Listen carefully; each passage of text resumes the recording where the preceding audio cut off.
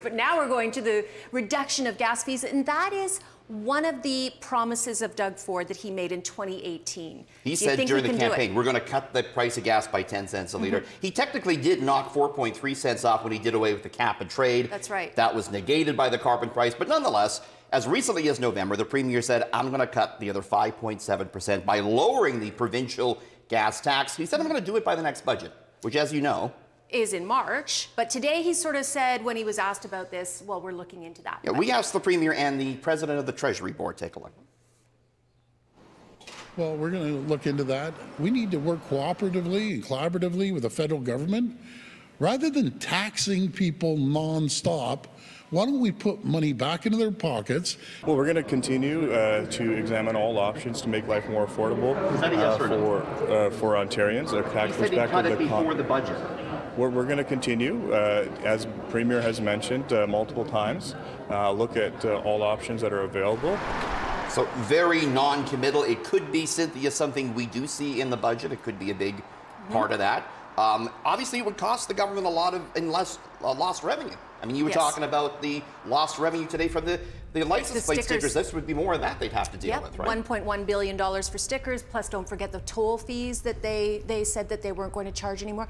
I have to say, wasn't it nice to be in a scrum? You know, scrums are when the reporters ask ministers questions, and we got a second question and, and a third question if we wanted. We weren't on a phone line hoping to get a question. A lot of the time, the government so controls the phone line, so it's nice to be there in person yeah, for sure. This way, we could we could ask as many questions for the most part. Now.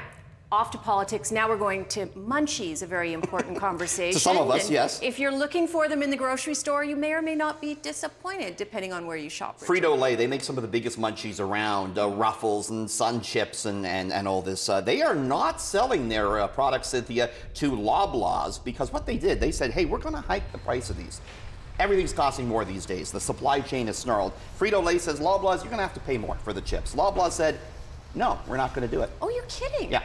They didn't want to pass that on to the likes of you and I. So Frito-Lay said, well, we're not going to ship them to you.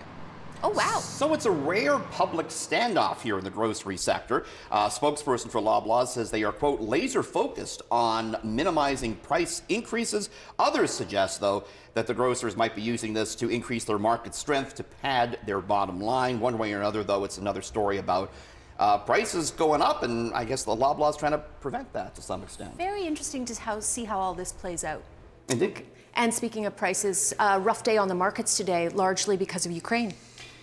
Investors don't like uncertainty, and there's plenty of that on the Russia-Ukraine border. Looks like Russia might be ready to invade. President Biden talking about sanctions today in the U.S. And the Dow was down almost 500 points when the closing bell rang today, Cynthia. The TSX down 100. We've seen a lot of such sell-offs recently amid this conflict. Uh, the VanEck Russian ETF, this is a U.S. exchange-traded fund that tracks Russian stocks. It tumbled 8.9%. The Russian oh, wow. economy could take a hit here with all these sanctions going into place. We did see oil rise. This could put uh, gas prices higher. We also saw investors look to the safety of gold. That's what happened on the markets today. Everything feeling very uncertain right now. Indeed. Richard except, Southern. This is not uncertain. Except, Great except to see to you, see you. Yes, highlight of my day. Thank you so much. Our one and only Richard Southern.